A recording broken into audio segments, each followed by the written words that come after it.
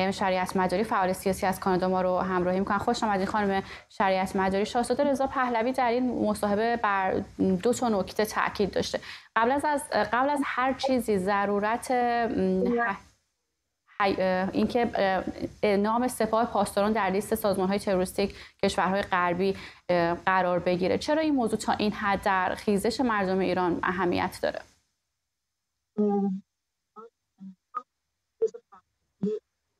خانم شریعت مداری متاسفانه فکر می‌کنم یک مشکلی با میکروفونتون وجود داره که ما صدای شما رو درست نمی‌تونیم بشنویم.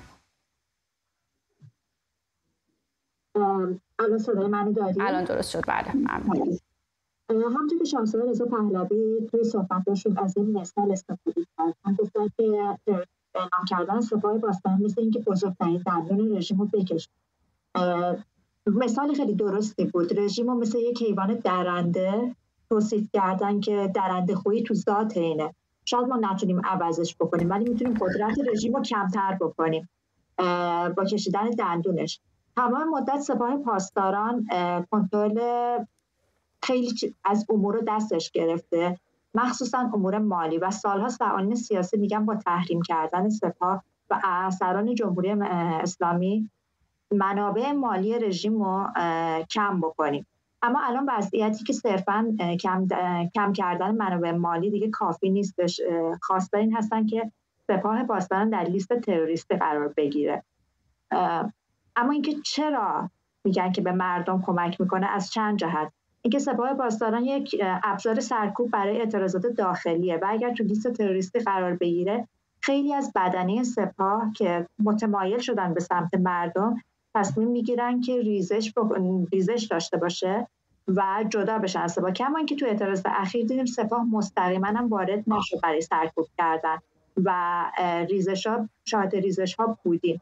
و اما در مورد مسئله خارج از کشور ما شاهد جنگ متاسفانه جنگ روسیه و اوکراین بودیم و دخالت مستقیم جمهوری اسلامی در این جنگ.